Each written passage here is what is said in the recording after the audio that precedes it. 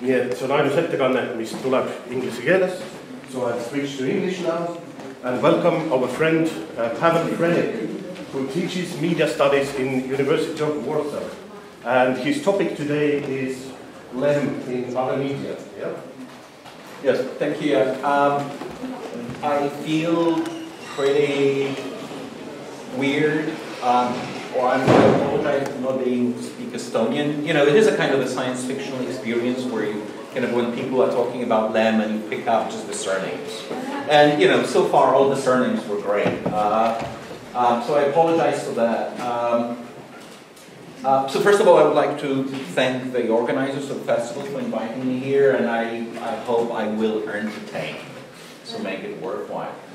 Um, so Lem Media, I was trying to be witty here. Yeah, I'm not sure I, am quite successful in, in that, but um, what I would like to talk about is uh, not Lem's literature, because I'm sure a lot of people have said very intelligent things about it, but rather the sort of afterlives of this fiction in across various media. And perhaps we could uh, begin with, you know, I'm trying to be witty here again. Uh, this is obviously not Lem, this the rapper Drake, that you might have seen that, uh, that meme online on Facebook that uh, during his lifetime, uh, Lem was rather ambiguous and ambivalent about media in general. I mean, he did collaborate on a number of early uh, film adaptations of his works, and he wrote scripts for several.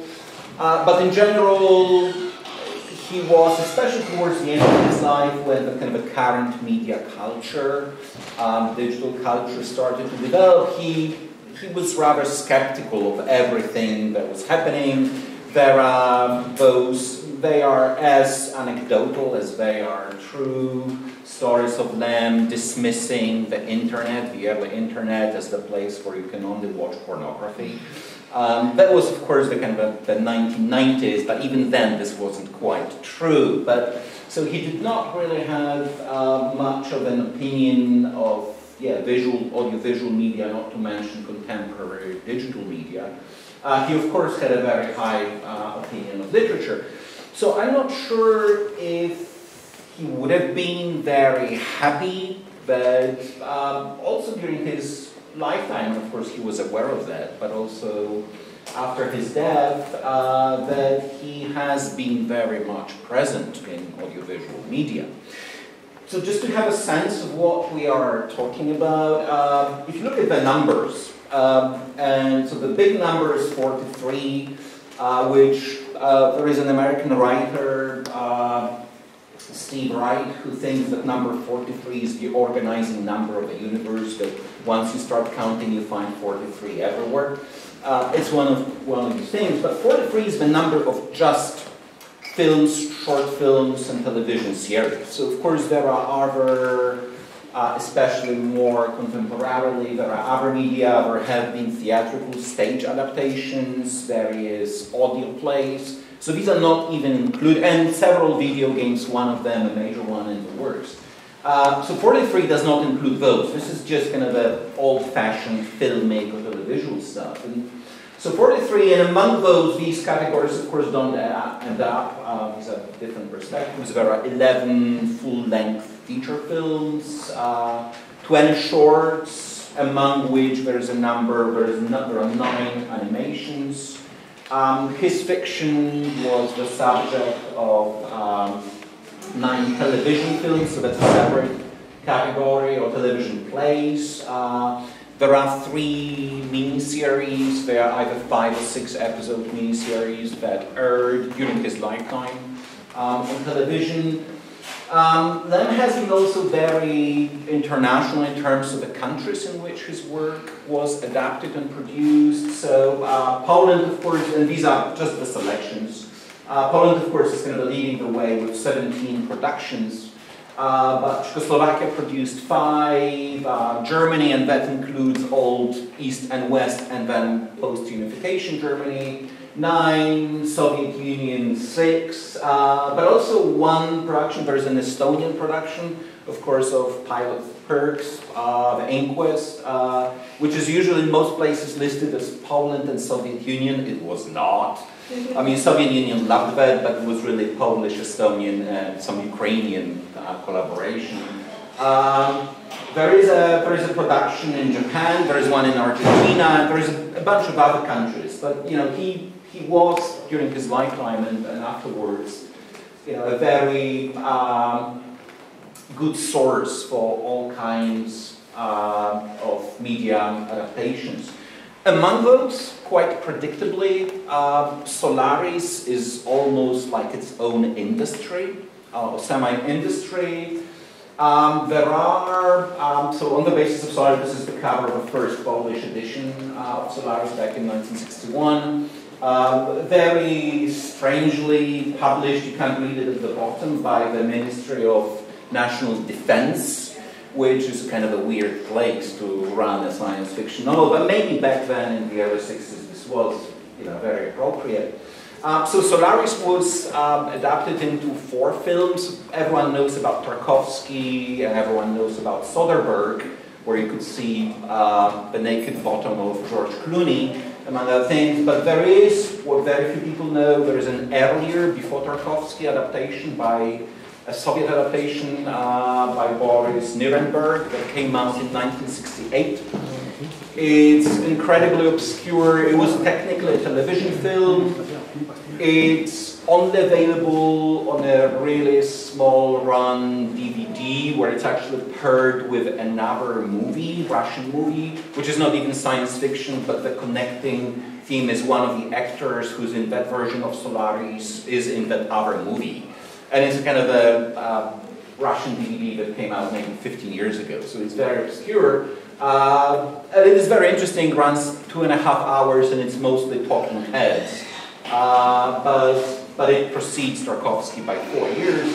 There's also a much more contemporary Japanese version of Solaris that came out in 2007, which runs at five and a half hours. So here is a challenge for you.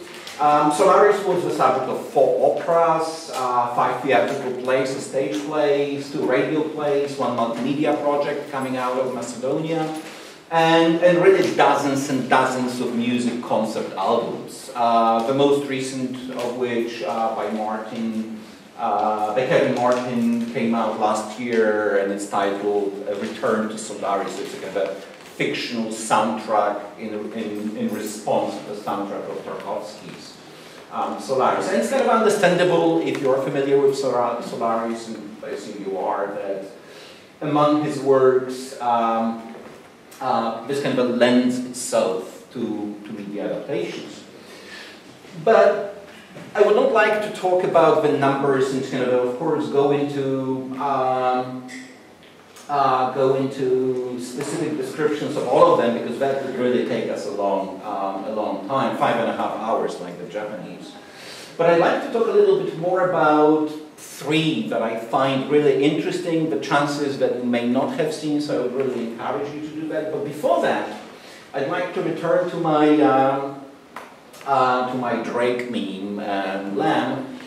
Um, to talk a little bit about uh, the problems with adapting um, them to especially film or television or short film is that of course what drives many audiovisual uh, uh, texts, as we say in cultural studies, so uh, films, television series and so on, is, is the conflict and in that conflict it's the individuals that play the crucial part and in the classical Hollywood, which has subsequently really colonized global cinema, in the, in the classical Hollywood tradition, it's the motivations of characters that really drive the story.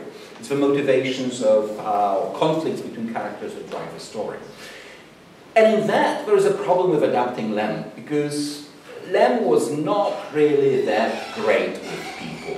And I guess you could say that both him as a person and his con you know, contacts with other people, but he was not really great with writing characters. Uh, of course, there are characters in all his books, uh, or most of his books, uh, but these characters are really more often than not, they are kind of faces or mouthpieces for ideas. Uh, they are very often excuses for various uh, political, technological, sociological, and so on positions. Right? They are not really very good, deep characters that you know stand out, that are kind of believable, that really create a kind of a human uh, human uh, connection with the viewer, right? Which I think in many cases is a big problem when adapting. Um, in that, in fact, uh, Lem stands in sort of direct opposition to another writer uh, with whom he is sometimes kind of a juxtaposed and another writer with whom he actually clashed. Um, I wonder if anyone, oh, sorry, if anyone recognizes the writer. Of course, on the left we have Lem, and on the right, does anyone recognize him? Dick. Yeah, this is Philip K. Dick, an American writer with whom, uh, you know, probably if you look at some science fiction critics, if you asked who really is the most important, the most visionary writer of science fiction in the late 50s, but really 1960s and the early 1970s, most people would say of course, Lem, who had been translated into a number of languages uh, relatively early, but a lot of other people would also say Philip K. Dick. Now, uh, there is a the story of personal conflict between uh, Dick and Lem. Um, um, Lem was, if not the first, but the, one of the very first non-Anglophone writers who was admitted to the Science Fiction Writers of America, the organization that sort of um, uh, combined a kind of a gathered um, science fiction writers, and there were mostly Americans, uh, a bunch of Brits, a couple of French people, but he was, uh, he was probably either the first or one of the first who, in recognition of his fiction that was really, of course, truly visionary ahead of his time, he was, he was admitted as a member of Science Fiction Writers of America. Uh, uh, now, uh, and a lot of his work was translated into English uh, relatively early, although, for instance, Solaris, which you may or may not know, uh, for a very long time, the translation, the English translation of Solaris was actually not from Polish, it was from French. Uh, then hated it. The, the, direct translation from Polish into English appeared only in 2011 so very, very late, and it's only available as an audiobook or as an ebook because of the copyright, so there is still in print. The only uh, English version of Solaris is still, you know, through French, which, yeah, you can expect does not really give justice to the original uh, text. Uh, but anyway, so, so Lem was known in, in, in, um, in, in, the United States, and Philip K. Dick, who, apart from the great prose, uh, was also known for consuming large quantities of mind-altering substances, uh, claimed very publicly that Lem does not exist. That Lem did not exist, but it's not possible that a writer who has that kind of depth of thinking and conceptual density could be one person. Uh, they claimed publicly on numerous occasions that you know Lem is really a KGB, you know, the Russian secret police construct and a bunch of people writing together. Um, and of course, you know, Dick was entertaining as a, as a persona, uh, but, um, uh, but the science fiction writers uh, of America did not take these things very seriously, to which, you know, Lem kind of expected respect. This was kind of a typical Lem in many ways. Um, after SFWA, uh, had failed to react. I mean, he demanded that Dick be expelled. Dick was, of course, the member of the organization too. Um, so Lem had demanded a number of times that Dick be expelled, and of course, he, wasn't. So at that point, I think in 1975, uh, Lem himself resigned his membership in protest, but the organization did not uh, react to Dick's accusations that Lem did not exist. Um, so that's, of course, you know, that makes for a great anecdote, but, uh, but the connection in the context what I was, what I was talking about is that um, Lem, of course, is great with ideas, but his characters um, are mostly faces, they are fronts for ideas, for concepts. They are not really uh, fully developed, empathetical, kind of a relatable uh, characters and Dick's fiction, you could say, is exact opposite. That I mean, I'm not saying that there's no there are no concepts in um, in um, in Dick's fiction. I mean, there are a lot, but of course, probably of a different nature. But Dick was able to write really the characters that we can really empathize with. I mean, most of the time, really broken characters, uh, but very interesting nevertheless. So there is a kind of a interesting uh, connection verb, but also, to come back to my original point, a challenge that, you know, how do you adapt? And most adaptations, media adaptations, ultimately revolve around characters. How do you adapt the fiction of a writer who was just not really good with human beings, especially on paper and not only?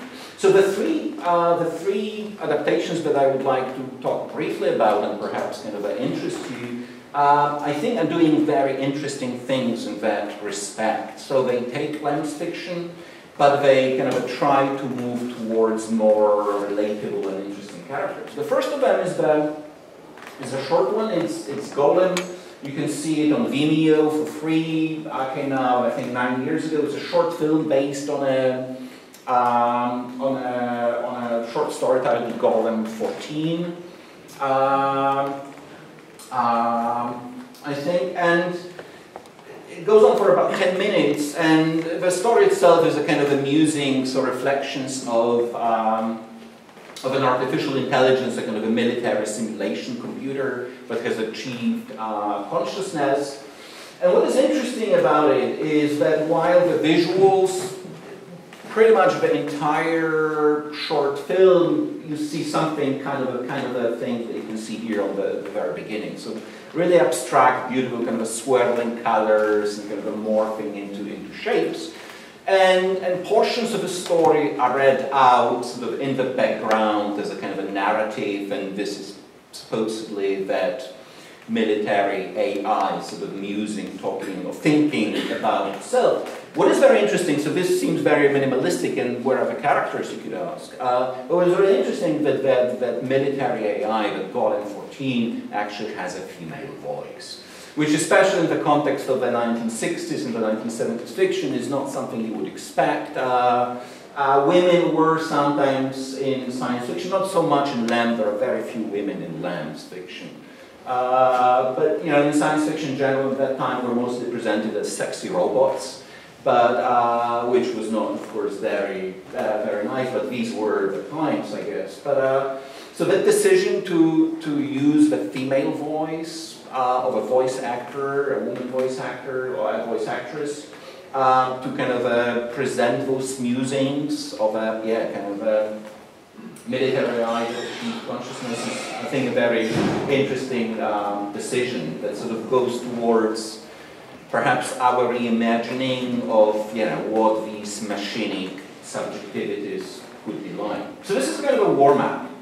Now the second um, film that I'd like to mention is relatively recent.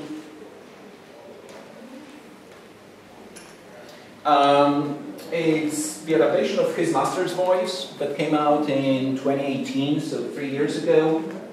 It uh, is directed by György Pálfi, an intensely interesting Hungarian uh, director who really, I don't think he had done any science fiction, even kind of a speculative uh, film before, but you know, if you're interested in Hungarian cinema, you know, Pálfi is definitely the way to go. He's, he's absolutely fascinating. Now, and I don't know how, mm, how, how familiar you are with his master's voice, at least very vaguely what it's about. Uh, the entire novel, the original novel, is about an attempt to decode the message from the stars, uh, alien message that was received. But, um, and it's a kind of first-person narrative of a principal engineer, mathematician, Peter Hogarth, um, who is struggling to decode that. And again, for them, of course, this was an opportunity to uh, get into the discussions um, of cosmology, astronomy, communications theory, uh, the evolution of, you know, not just of biological life, but of the universe. So kind of the usual Lem, you know, really, really heavy philosophical ruminations. Um, so as such, his master's voice, the novel seems to be kind of unadaptable. You know, how do you do that?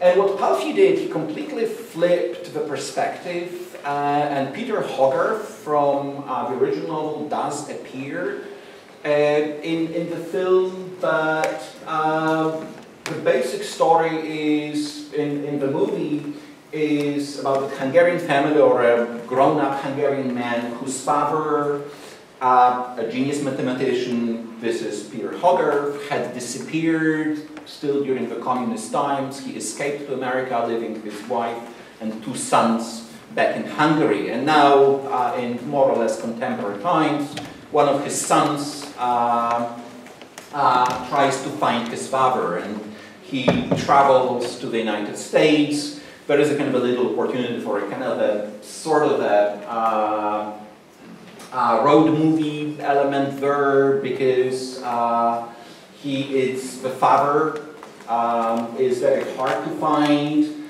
His son finally finds him. These are not spoilers, really. You know, this is I'm not really spoiling the movie. I really like to encourage you to, to, to see it if you have a chance. So he eventually finds him, and you know, this is where the movie connects with the novel because it turns out that his father had disappeared not only because he abandoned his family and went to the United States, where he actually, in the meantime, uh, has started a new family, uh, uh, but his father was uh, recruited by the US government to work on precisely the same secret project that we know from the novel. So decoding the message from the stars. And in the movie, like in the novel, you know, there is really no decoding. There is really no answer what that message uh, was or who actually even, uh, even sent it.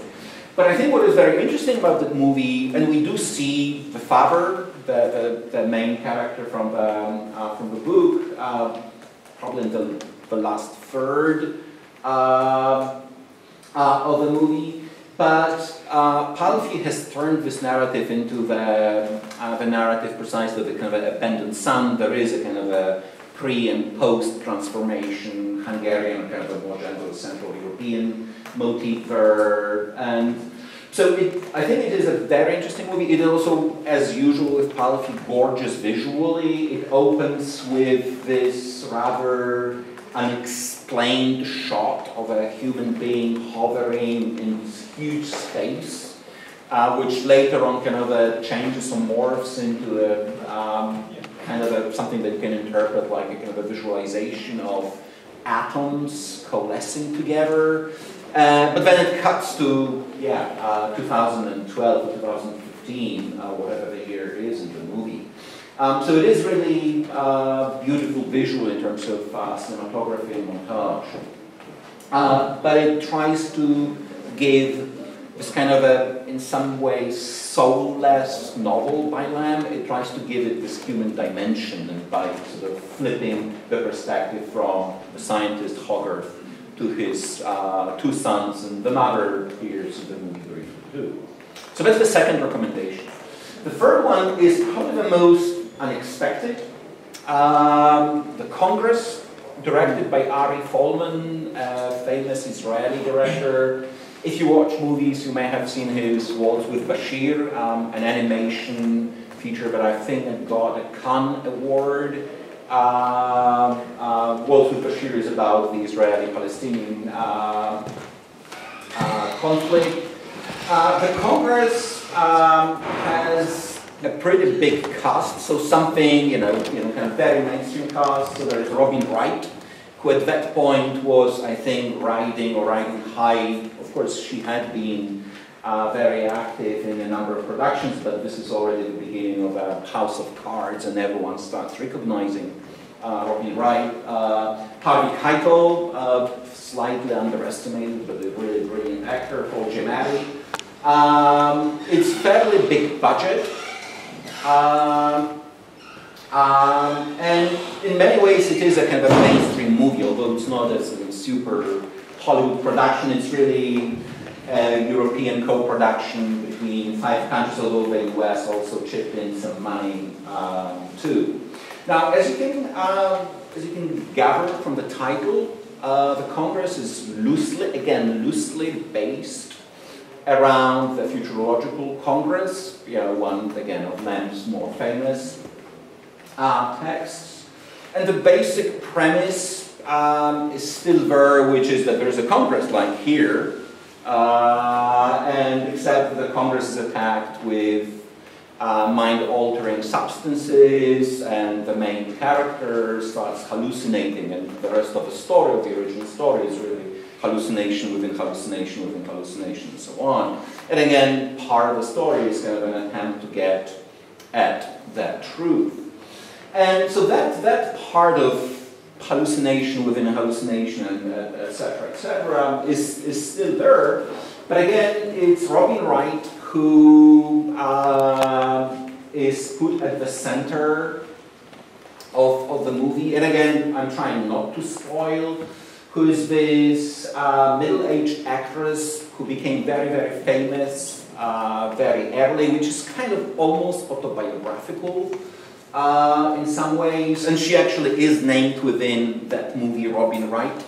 Um, became very famous, but now um, not only because she's uh, coming on 40, which of course in Hollywood is the age when women drop off the visibility and casting, you know, except for several really famous names, uh, but also because there are transformations in Hollywood and in general in the media industry where they are moving away from real actors, but towards first simulated uh, I guess, digital avatars that are much cheaper to employ in the movies. And eventually, where the original story is also kind of the, actually making the viewers, or the audiences, or consumers, actually uh, consume specially doctored chemical substances that make them feel like they are actors or actresses in fictional scripts.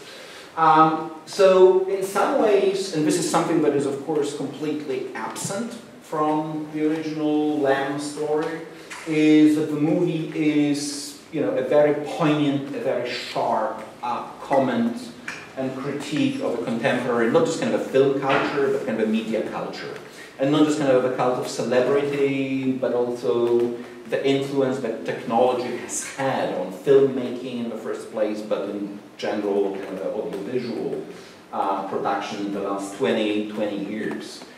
Um, but what is really interesting, and I think it's, it's very hard to convey, especially if I, you know, I have one slide with three, um, uh, with uh, screenshots, but the entire middle of the film, which is one of the levels of hallucinations is fully animated, so it really goes from live uh, to animated back to live, and uh, Robin Wright's character is the one that sort of connects all of these. Uh, the movie is heartbreaking. I mean, it is, if you're not going to cry at least once uh, when watching that movie, that probably means there is something wrong with you. No, I'm not really, but, but it, it is it is really a poignant, sad, heartbreaking movie, which is again the quality you would never find in Lem. And it's, and, and it's that not because it critiques civilization, which of course Lem uh, was very good at,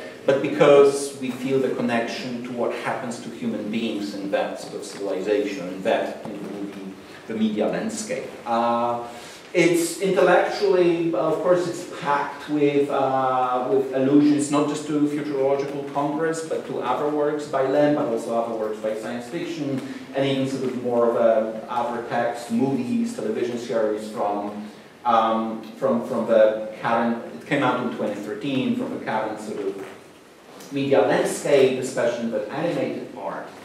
But again, while it takes this basic premise and the original text, of course, was very dystopian, was very pessimistic, and there is that too in, in, in this one, but it definitely injects uh, Lem's text with this, you know, very poignant, very soft, and kind of very emotional human factor that I think in any kind of adaptation is something that you really aim for, perhaps what many creators aim for, is that you not only give a certain degree of justice to the original, but also that you add something from you that your viewers can relate to, that it's actually more than the original. And definitely the Congress, but also uh, the other two that I, that I talked about definitely do. So again, I don't get a percentage from the tickets of the DVD sales, but do watch it if you have an opportunity. Thank you.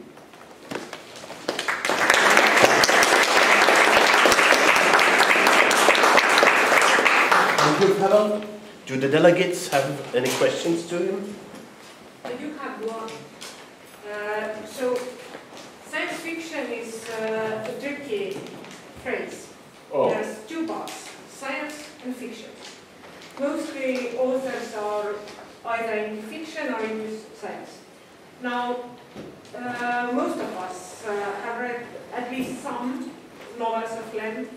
Uh, you told us about movies, so when you put Lem on that scale, so are the movies rather more fiction or more science? That's a good question. Um, it, it, it depends where you look. I mean, these these three that I that I that I briefly talked about. I mean, they definitely have a scientific uh, component. So there is this kind of a biochemistry or kind of a bioscience behind these drugs that do these things in the Congress, for instance. And there is some sort of pretty loose physics in his master voice, for instance, but, but these are definitely, if you want to break it into these two halves, they are more fiction. If you look at the early uh, Lem adaptations, I mean, especially the number of shorts that came out in the 1960s and the 1970s, that he very often wrote uh, scripts for. One of them was probably one of the more famous, uh, was directed by Wajda. Wajda actually had wanted to film Solaris too, but he didn't secure financing uh, back in the 1970s. So if you look at these early shorts, I guess there was um, maybe it wasn't science per se, but definitely there was this, there was a lot of this kind of philosophical, kind of a logical, most of it was talking faces. Um, so, you know, they are put in some circumstances, but, you know, within that division, if I understand the question, you know, they were more if not scientifically focused, then at least kind of a philosophically focused, but kind of a, but of course the object of that philosophical uh, consideration was very often science or certain rules of the universe. Um, so in that respect, uh, yeah, kind of a, these three are more fictional, although you know, I'm, I'm, not, I'm not sure if these are all mutually exclusive. And, and there are, I mean, you're, you're absolutely right, but there are writers, uh, and Lem was one of them that for whom the science, or at least kind of the thinking, was far more important, which is, I think, one of the reasons why he was so bad with people, or characters. Uh, and there are other writers who treat, science fiction writers who treat science as a kind of just an excuse, right? And it's really the conflict, the feelings, the, the transformations uh, that are more important. So, um, so probably in that, Lem would be part of that sort of tradition that within science fiction sometimes has been called hard science fiction, so more focused on, on, on that. And movies, yeah, uh, it's a good question. So at least these two, uh, the last two movies, they definitely want to sort of go away from that sort of very rational, very meticulous thinking. Because ultimately on the screen, it would have been boring to a certain extent, right? I mean, if you want that, read the books. Right. But it's a big question about science and fiction, of course. Any other questions? So would you say that because he was bad with people, he didn't like the adaptations which necessarily had to dramatize, dramatize or psychologize? In the sense that, for example, Tarkovsky's film is quite intensely psychological? Um, that's a good question. I, I probably should know it, but I don't know how he felt about Tarkovsky's film. Which he hated Did he hate it? Okay, yeah. so that's, well, this that's... that's one of the speakers Okay, well, see, that that's me feeling alien yeah, in a That's true, but he tried to sort of reason with Tarkovsky, but, but didn't see a point. Well. Tarkovsky was not an easy person to reason with on either. uh, ingenious director, of course, but uh, um, yeah, I mean, he, as I said, I mean, in the but that might have been mostly either Polish or some of the early German adaptations uh, that he collaborated, but these were mostly shorts. Some of them animated, some of them live action. So he, he collaborated with those directors, and, and there I think he kind of more or less accepted the results. And in several cases, he he wasn't just kind of the originator of the text, but he he co-wrote or even wrote in several cases the scripts. So I assume that if he okayed that. Uh, but later on, those later adaptations, and I'm pretty sure he would have been appalled by the five and a half hour Japanese adaptation of Solaris, but that's me trying to get into his. Um, so, I'm not sure I'm answering the question. But, uh, But as a general theoretical question, would you say that science fiction as such has to spend extra energy to achieve psychological depth? Or would you consider it rather a cliche that's sort of around about science fiction? That there are not too many characters? No, I, characters? I, I mean, if, you're talking about Lem, you know, we've already talked about it, but if you think about science fiction in general, I don't think this opposition actually is true. And it's, you know, it's true that for decades, science fiction, you know, was associated with a kind of a cerebral, mental, cognitive quality, but yeah, the characters are bad, the conflicts not believable, and so on and so on.